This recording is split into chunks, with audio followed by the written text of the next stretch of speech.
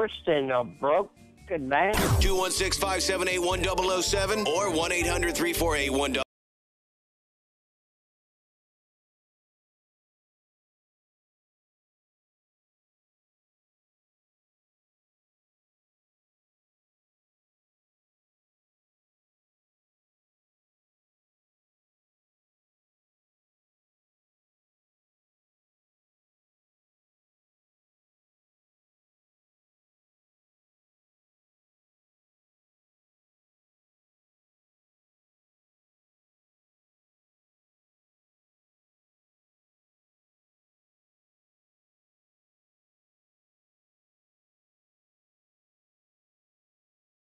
for the Rockin' Buzzard Brew that is going to be rolled out on shelves all throughout Northeast Ohio.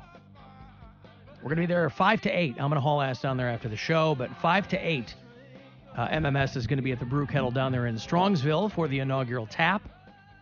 And so it should be very exciting. Looking forward to it. Bill and I are going to be doing some stuff tomorrow morning. Yeah, we're gonna go. Go down there. Video and- film yeah. yeah. Stuff like that. We're going to be doing the schlemiel and the schlema, Yeah. So, uh, all the details on Rockin' Buzzard Brew. We haven't done a beer in a while. Uh, it's going to be available for you uh, very, very soon. So, be uh, keep your eyes peeled for that. And we'll have um, a whole lot of um, information for you on it. That's our beer news for. Um,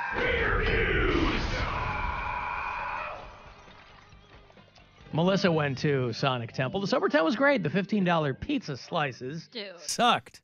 It was ridiculous. Yeah, but those are festival prices. Twenty-two dollars for a wrap. That is not. That's a fa- insane. I'm exp- I'm expecting like fifteen bucks, right? Well, okay. Twenty-two dollars. It was the extra sour cream. a bottle of pop was six bucks. like, come on, man. I know it's not gonna be two dollars. I get that, but it was intense. Speaking of pizza, I went back to Geraci's on Friday because my buddy was in town, and I wanted to take him there because he lives in this good for you. place that where they don't have a lot of good pizza in New York City, Connecticut. and I was like, dude, you gotta try real pizza. You, you gotta get away from that New York crap. It's just garbage. Oh, you like New York? We've got New York style Mhm. pizza. How do you like that? Take that. And uh, ran into the owners, and they were very appreciative. Tito Francona? Uh, not Tito, but Jason and Bucky uh, were very appreciative of uh, all the love we've been giving them. Yeah, I saw there, somebody so- tag me in something, but I, I guess they, it like, posted on one of it our Had segments. expired or so. Oh, yeah, okay. I- They I posted didn't one of our it. segments where we were talking about it, and they put it on their story and stuff like that. So uh, they were they just said thank you to each and every one of us. I gotta get in there. Yeah, it's it's good. The Eat Pea, Chug Whiskey, Hail Satan is I Declare War. Alan, you should know that. You should know that. That's a death metal band. What is he saying? It's uh, The from a shirt. death metal band called. That's one of the I t-shirts you Declare saw? Yeah, that I said that one of the I saw a lot of t-shirts with a Eat pro- poontang, drink whiskey, hail Satan. chug whiskey, hail Chug- Satan. Oh, that's what he's. The And he's- Eat Pea, Oh, eat pea. Oh, he's Yeah. censoring himself. the Okay. Eat Pea, Chug Whiskey, Hail Satan is I Declare War. Alan, you should Oh, know. I see. What do I have to memorize every band's T-shirts? Yes. Yes. How the hell would I know that? I love how the bands sell. T-shirts with that stuff on it, which I think is kind of silly. And then like the band's wearing a Rush T-shirt. Yeah. They're like, we're not gonna wear our own T-shirts. Those are ridiculous. Well- Who? It's a dare. Who would walk around in a dumb shirt like that? That's the other thing is that we Brian wanted uh, Queens of the Stone Age merch, and so we waited in this giant merch line, and it's like four tenths long because they had every band's merch. Mm. Queens of the Stone Age had one shirt and one hoodie, and that's it. And it the makes hoodie, it makes a decision making so easy. well, the hoodie was literally just a black hoodie, and then in red small font in the very middle it said Queens of the Stone Age. It Yeah. was seventy five dollars. Yeah. And he's like, I can't, I can't justify this. Like, I that that's not a cool enough hoodie. It's so plain.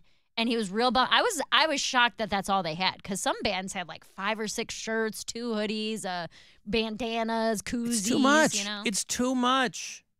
But Just least- give them a hoodie and a T-shirt. Yeah. You're doing people a favor. I guess. You're not doing people a favor with the pricing, but I mean, it's all festival pricing. But the people are like, we got bandanas and beer koozies Yeah. because bands make their money on merch. That's like what I get, said. I get it.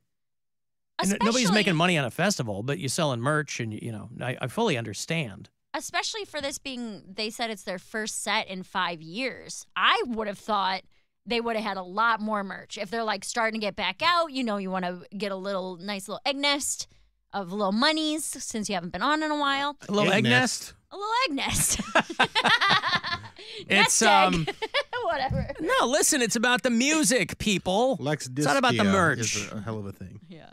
Uh, we were actually trying to calculate how much money something like that makes, but we like couldn't even fathom it. We were like, it's got to cost tens of millions of dollars, right?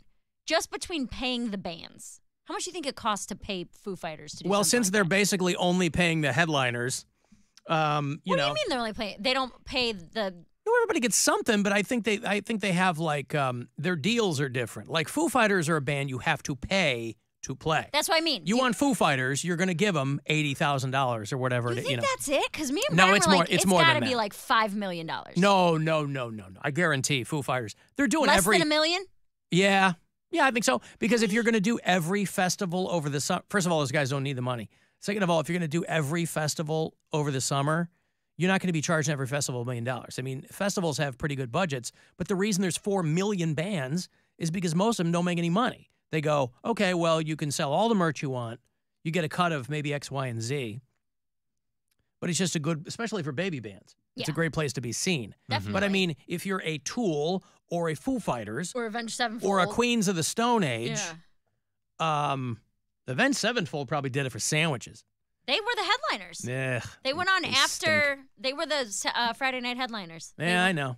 They still stink. I like them. I know. They still stink. But yeah, we were trying to we were trying to gauge it because I'm like, I have no idea how many people come to this over the course of a weekend. But you got to think, man, between food prices, ticket, like admission, All the alcohol. each yeah. person, I said on a low end per person, you're spending 300 bucks. On a low end. That's if you're not getting merch. I'm saying just price of admission, parking, and um, food and like food and drink.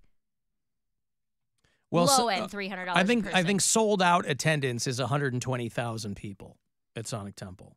Damn. Over four days thursday friday or three days thursday friday saturday no four days Four days now. Yeah. so you're talking let's say on the low end 300000 people Well, especially since it was gone for three years. yeah I mean, the last one they did was 2019. I think the mm-hmm. I think they flipped the Sonic Temple, and then COVID hit. Yep.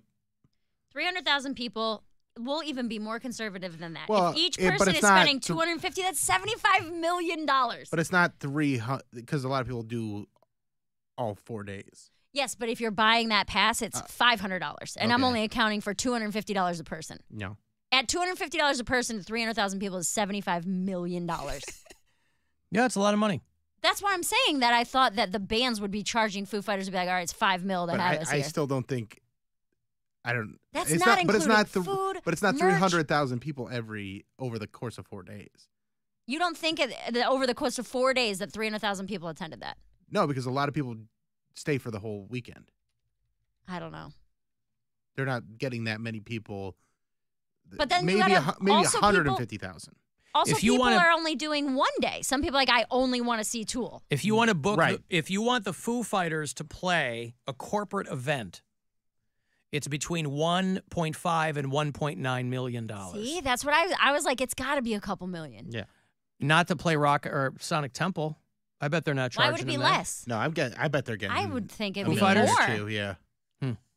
Especially at those prices of everything. If they okay, so you're paying us a flat rate. You pay us two million dollars, and then they're charging two hundred and fifty for a Friday pass So per Foo- person. It you know, says uh, Foo Fighters average gross, an average gross north of a million dollars per stop. But that's their average gross. That's and that's the like the headlining things. That's what I'm saying. Festivals are a weird, different kind of calculus and math because there's so many bands. You can count on one hand the headliners, obviously, but like, they're Kiss played right.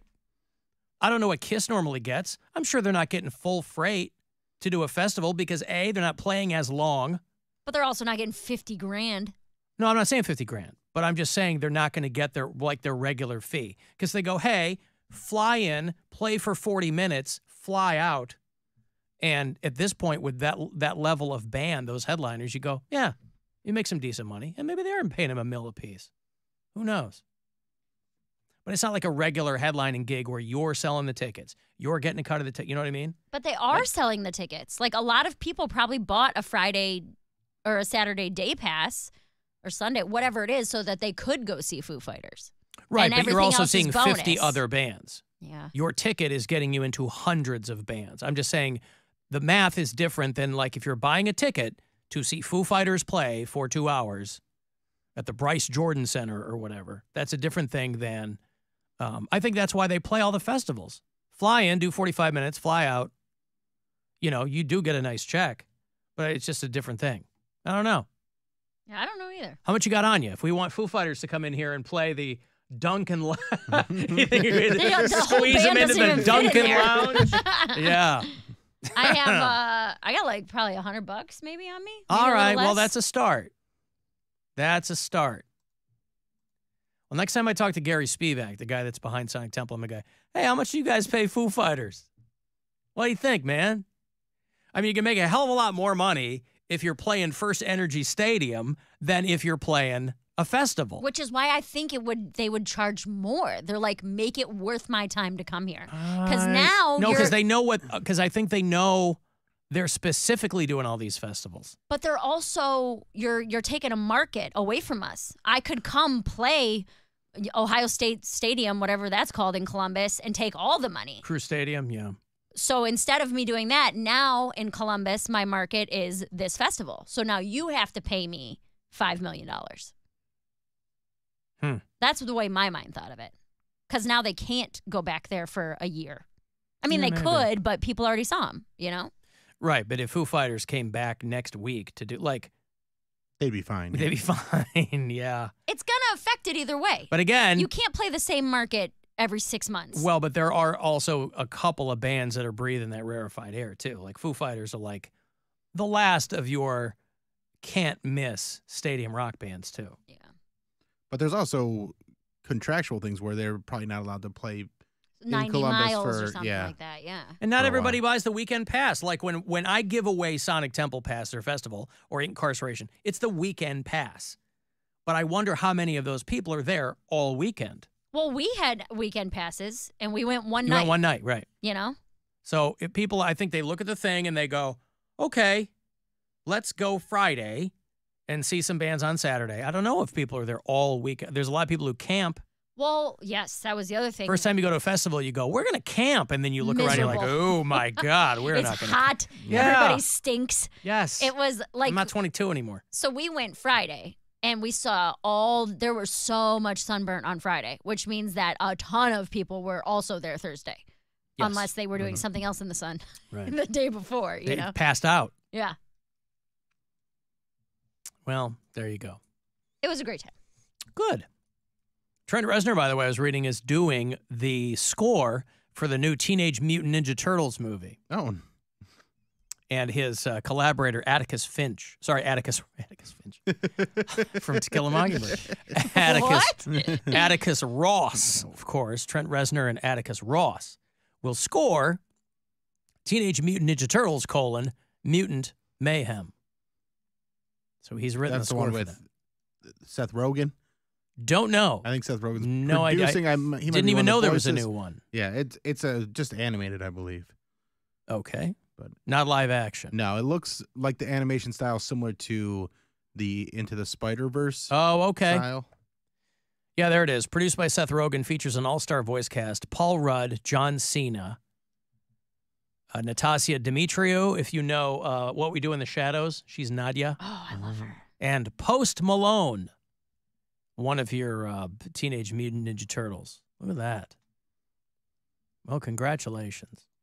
We have bureau chiefs in Kansas City, Missouri, the Show Me State. About an hour north of that is a tiny little town called Gower, Missouri. And there are thousands of onlookers hoping to smooch. This is the stupidest A- thing. it's so dumb. gross. a dead nun who How they exhumed nuns? her body and noticed that her body had not uh, decomposed at all. Why did they And people her body? people love this kind of stuff. Jesus people love this kind of stuff because people are desperate for symbols of something that that I guess underscores what they believe. Or thousands of Catholics, many many years ago, I'll recall uh, in Chicago, um, there was a water stain on the underside of an overpass. I remember us talking about this. There was a water stain, and it dripped in the form of the Virgin Mary or something. And so all these people with, and all I'm thinking is, man, I hope a bunch of people get hit because they're, uh, you know, it's a major expressway there, and they're putting flowers down and whatever. So this nun died in 2019, and um, she'd been dead for a while, obviously. Sister Wilhelmina Lancaster. Oh my goodness. No wonder we haven't heard from her in a while. Uh, was 95 when she passed, and her body was recently exhumed. It was going to be moved inside a chapel. Ah, There was a convent there in Gower, Missouri, that she had founded, and they were going to move her body into this chapel. And they opened her coffin. Sounds like maybe it was a potter's. I don't know. It's 2019. I don't know why she was in a wooden coffin, but they said that her remains were intact, even though her body had not been embalmed. And so obviously that's pretty wild. But people love this kind of stuff. They just are desperate for anything that means something. And you can't really blame them Right. nothing means anything. So something like this, you know, if you can attach some meaning to it, it's fate. visitors are being given a limit, uh, given limited opportunities to touch and even kiss Touch. the deceased nun's body. Would you kiss the? Would you kiss the nun pound cake? Not for a million dollars. Why not? Kiss the It's nun. good luck. No, it's nasty. You would for a million good dollars. luck. Here's a million dollars. Kiss this desiccated bride of Christ. You'd go, You're a man of God. You're a Christian. Yeah. It should be right up your alley. no false prophets. and a million. What false prophets? It's an idol. It's totally.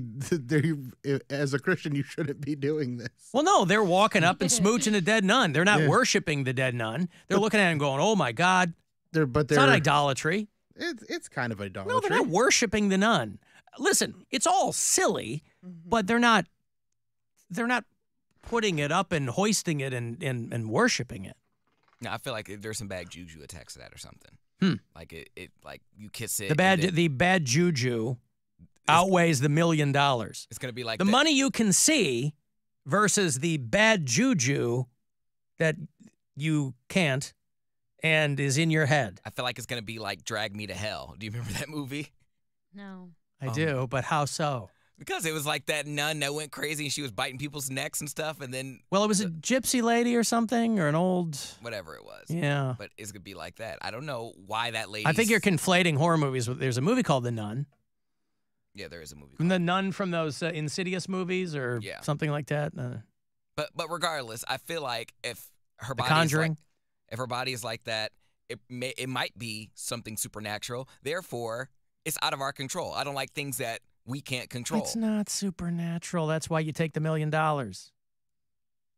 What good is a million dollars if uh, some supernatural you're entity haunted. can? Because Yeah. you got a million dollars. Just take Because the you can buy a bunch of ghost detectors. Yeah. That's no. why. you go. Yeah. All right. Well, listen, pound cake is a man, if nothing else, Plus, I'd probably get sick. uh, from kissing the desiccated I mean, I nun.